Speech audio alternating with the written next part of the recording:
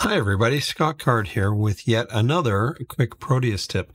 Today, I'd like to talk to you about how to create something called a project clip and where it would be very useful uh, when dealing with uh, certain certain applications like uh, breakouts uh, or fanouts for, for small parts or assemblies that you would uh, create over and over again, like a power supply. All right, let's dig in.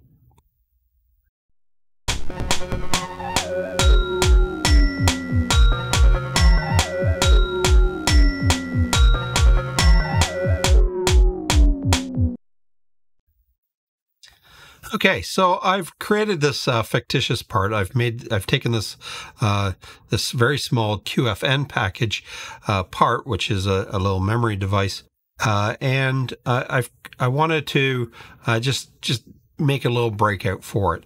And so the first thing that I want to show you is something to do with the property assignment tool.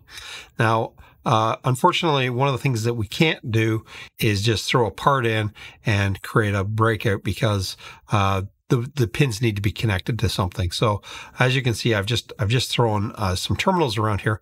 Uh, we could go into this and and actually put in uh, some some label, uh, but there is a shortcut, and that is to use the property assignment tool, which is just capital A here. And what we want to do is we want to we want to assign a net to this. And so the net I'm going to call is A. Uh, so the net, let's call it A, and I want to increment through uh, from zero uh, to to by one. So in this case, it's my first net that I click on is going to be net A zero. Okay, so A zero, A one, A two, A three, and so on and so forth. And when we want to finish, we uh, press the uh, A, uh, capital A again, and then we can cancel. Okay, so that's the property assign tool. Very fast and, and great way to uh, throw some labels at, at stuff. All right, the next thing that we want to notice is that we don't have all of our pins connected. So there's uh, there's uh, two, four, six, eight, ten, twelve of the uh, uh, 16 pins that we're going to see here. So we need to be aware of that. Uh, so as you can see, it's 4, 8, uh, and uh, 16. So what are we missing? We're missing pin 15 and 14 are missing, right? There's no 15, there's 14, and there's also uh, no pin 6 and 7. So we're not going to worry about uh, the fan out for those pins because they are no connects. And we can see that here if we go to our uh, our property tool or uh, package tool, I should say, uh, that there are actually uh, four no connect pins. The first thing that we want to do is we want to deal with these DRC errors, and if the whole board just needed to to uh, to have that reduced uh, clearance, we could go in and change it here, or we can actually uh, change uh, or add a DRC room uh, in this case, and we'll make it uh, this big, and we can uh, add some special rules to this. So this is going to be a DRC room. And when we go into here again, we now have a DRC room that we can create something new. And I'm going to call this uh, tight. And we'll give it a, a, a, a small a small clearance. We'll bring it down like so. Okay, so that deals with our uh, DRC errors in that area. And this doesn't actually show up, so we won't worry about it. And then what I like to do is I will uh, pull out some pads, and then instead of instead of getting too awfully worried about uh, how to terminate this, I'll just put a little via. So I just pull it up and double click, and then uh, from there so double click and then right click to terminate.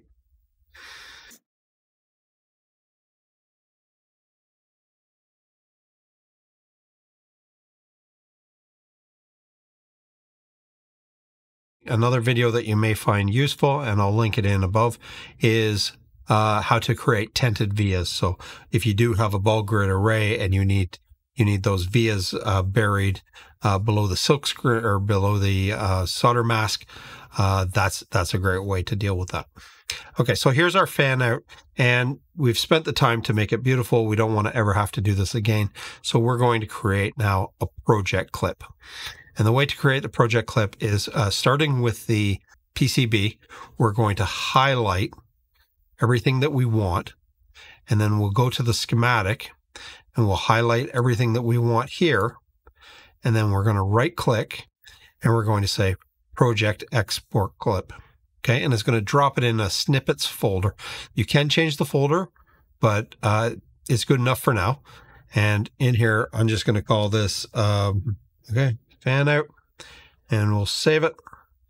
And one of the things that we can do is uh, I'll just delete this here real quick. Let's uh, let's do it anyway. Yes, and the reason being is I'll show you how to bring in that project clip now.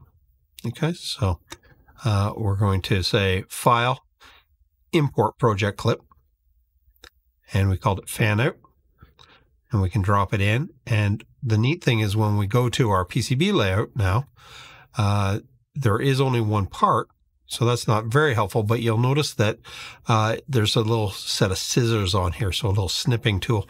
And that what's what that is is it'll bring in all of all of the all of the components involved. So if you had bypass capacitors or pull-up resistor or something else involved with this circuit, it would bring it all in together.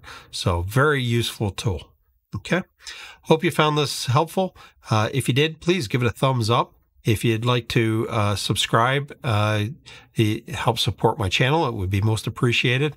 And if you'd like to be notified when I do create new content, make sure that you hit the notified bell. All right. Have yourself a great day. Bye now.